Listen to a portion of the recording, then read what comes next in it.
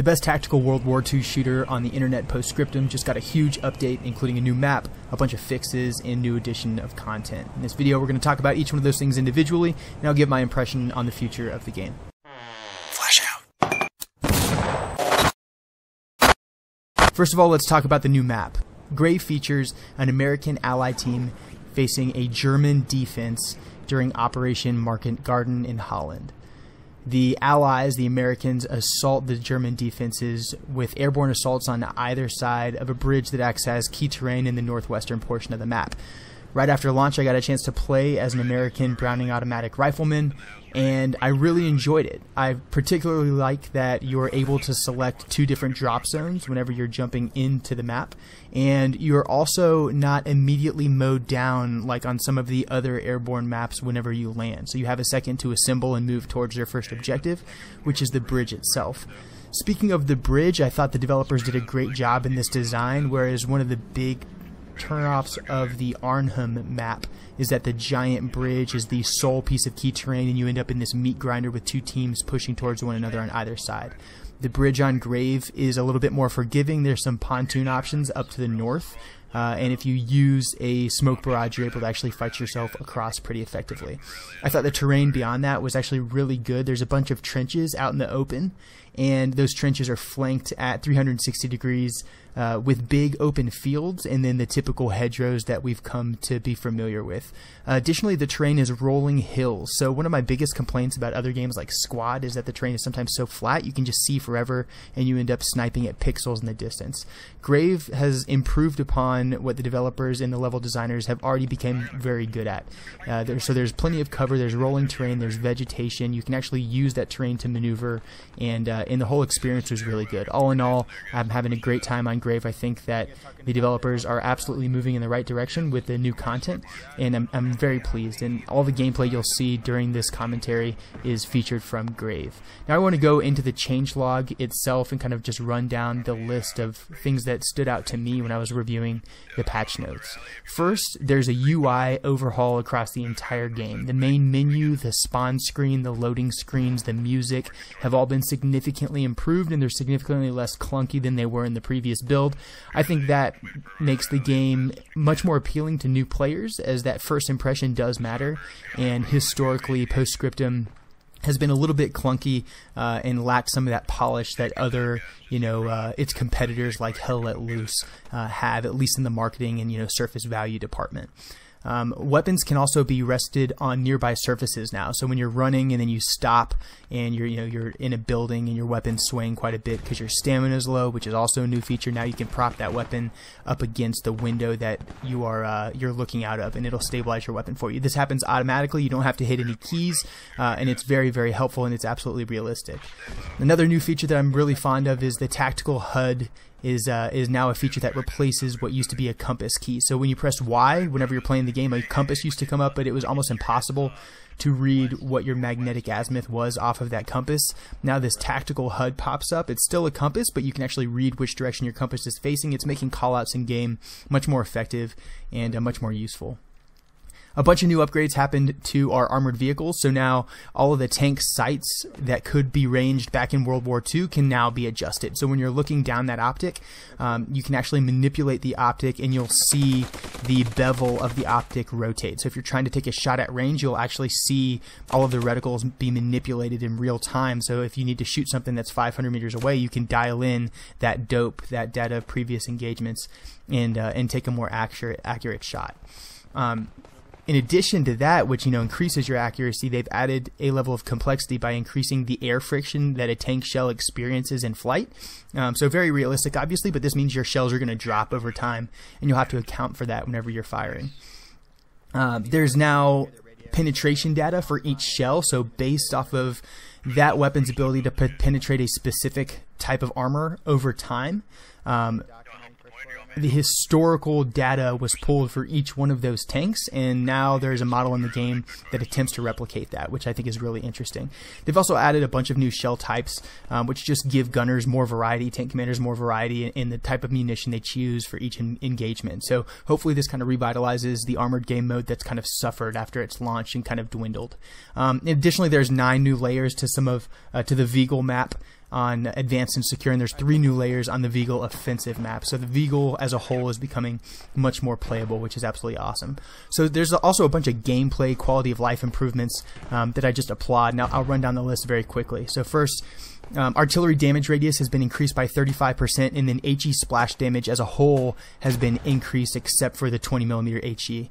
Um, this is huge. So historically artillery while you know it looked big and scary it wasn't actually that devious because you could get really really close to it just go prone and you would generally be okay.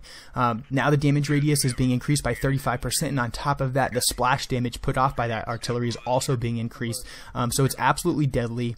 The platoon commander position on either side is going to become even more critical, as is the requirement of that section leader to communicate with the platoon commander so they can put that artillery in a place where it's going to make a tactical impact uh, during the game. So that's absolutely awesome. Um, Additionally, they've added additional spawn points to each objective area. So now there's three or four places on each objective where you can spawn, so you can avoid getting spawn killed. You know, if that enemy marksman is watching that one spawn location, uh, you can now choose to just go to a different one, so you're not getting shot as soon as you spawn in. So that's great. Now this is a huge one. So squad leaders can now only access the submachine gun, so the STG-44 or the MP40 or the Sten or the Thompson if two or more players are in their section. So that's huge. Uh, in the past, there was a huge issue with people making squads just to grab a submachine gun and then locking it off of other people or not leading their section only because they wanted the weapon, which takes away from one of the main goals of this game, which is to get people to work together on the battlefield. Um, so it's a big win for the developers and absolutely applaud that decision. Uh, some other interesting quality of life improvements that I hadn't even considered, but nonetheless are huge additions. Now the anti-personnel and the AT mines are grouped into multiple mines, so when you put down your one AT mines, you'll actually see two or three AT mines go out. Same thing with your anti-personnel mines.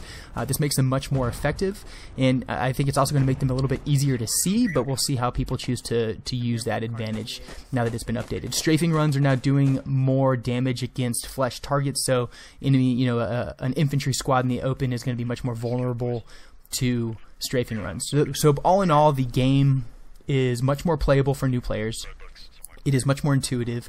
The UI makes a lot more sense. The game is more polished, and all of the content updates that we're seeing in this edition are huge improvements. Now, the developers also talked about Post Scriptum Chapter 2, and they allude to Post Scriptum Chapter 3. Chapter 2 is going to introduce a new theater, and it's also going to introduce at least three new maps. We don't know what theater it is, and we don't know what those maps are, but the developers are talking about it. I see this as a huge positive because despite a relatively low average concurrent player base, the developers are still fully committed to the project. They're looking forward months and years as they continue to promise delivering this uh, these awesome improvements to the game.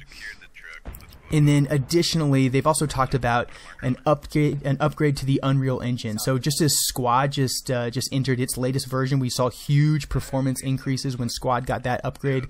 The Unreal Engine upgrade is going to hit Post Scriptum here in the near future, and we'll see the Unreal Engine 4.21 uh, be introduced into the game. When that happens, we can expect optimization to go up significantly. We can expect frame rates to go up significantly.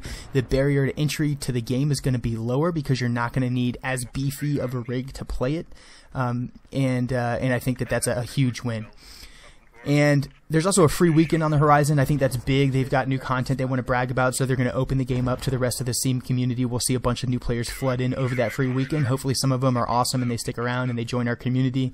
And finally, I will just talk about kind of what I see Post Scriptum, what what I see happening with Post Scriptum in the future. So we've got Hell Let Loose coming out in June in full release after its beta period, which is I'm not going to call it a Post Scriptum clone because it's not, but the games are eerily similar. They're obviously in competition with one another, and I think that that's healthy and that's good. There is no doubt in my mind that Post Scriptum is a superior game right now, um, but Hell Let Loose has the budget and the player base to continue growing that competition is ultimately going to make both of the games better, and I think that that is a good thing. Right now, Post Scriptum's average concurrent players over the last 30 days, and I'm recording this on the 31st of May 2019, their average concurrent player base over the last 30 days was 286 players. So enough for three or four servers, essentially, to be completely full. And we've all seen that, and I think we're frustrated by it. But I think that the introduction of this new content, I think that the developers promise to continue bringing more levels, more theaters in the future, coupled with a fair price tag and a free weekend on the horizon, is going to build that player base. I think there's going to be expanded interest in tactical World War II shooters as a whole, particularly as Hell Let Loose is uh, is introduced in June, and in all likelihood, that's going to increase the number of people playing Post Scriptum. So the future is bright. I'm excited about this game. I'm enjoying it now more than ever. And you know, if if you want to help the developers, go tell your friends about Post Scriptum, invite them to come play with us. And I think that it's going to be around for a long time. I certainly look play, forward to playing it. Uh, into the to the distant future. So in the notes below, I've linked the link to both the patch notes, just the change log, as well as the developers' comments where they allude to the future of Post Scriptum. And the goal on this channel is to tell epic digital war stories. I do that by sharing my experiences in tactical shooters like Post Scriptum, like Hell Let Loose, like Squad, and uh, and and doing what I can to help other people improve their play as well. So in the combination of those two things, um, hopefully that you can find a place in this community. If you like this video and you want to see more stuff like it, I would encourage you to to follow the links at the end of this video and check out some of my others. And until next time, this is Controlled Pairs signing off.